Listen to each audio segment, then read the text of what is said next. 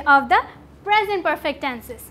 Present perfect tenses, we use them to talk about an action that was completed at unspecified or indefinite time in the past.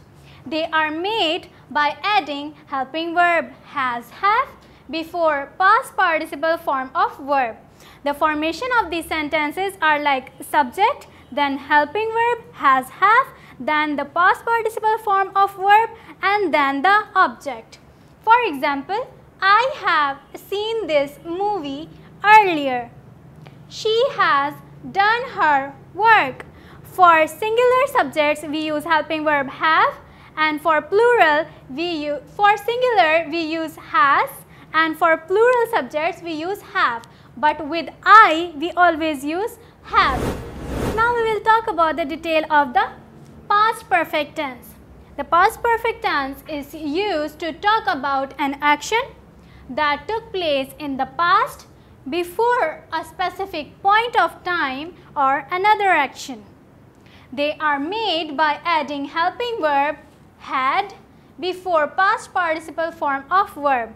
The formation of these sentences is same as the present perfect tenses. Only the helping verb is changed into had. For example, I had seen this movie before it was released. Now we will move on to the next topic which is the future perfect tense. We use the future perfect tense to talk about an action that will occur in the future before a certain point of time or another action in the future. They are made by adding helping verb, will have before past participle form of verb. They, the formation of these sentences is same as the present perfect tenses and past perfect tenses. Only the helping verb is changed into will have. For example, I will have seen this movie by the time it is released. The perfect tenses can also be converted into the negative form or negative sentences. For past and present perfect tenses, the subject, verb to have, not, past participle form of verb and then object or the rest of the sentence. For example, I have not seen this movie earlier. I had not seen this movie.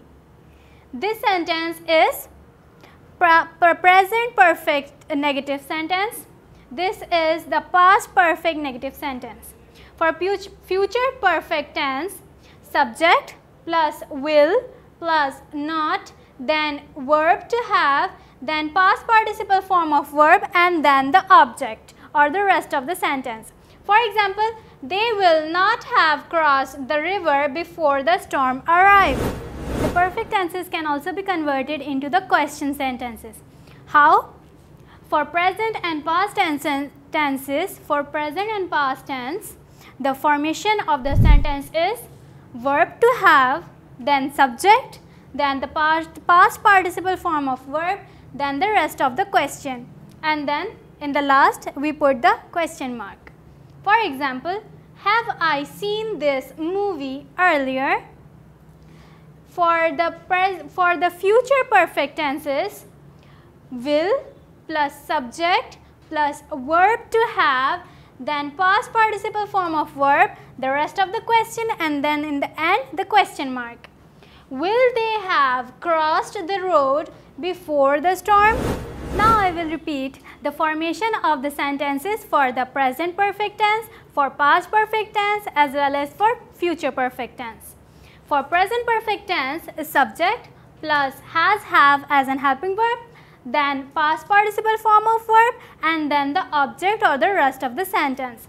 For past perfect tense, the subject plus had plus past participle form of verb then the object and for the future perfect tense, the subject plus will have as an helping verb then the past participle form of verb and then the object. In this session, we have talked about uh, the perfect tenses, the present perfect tense, the past perfect tense, the future perfect tense. Also, how can we make the negative and question sentences of these tenses.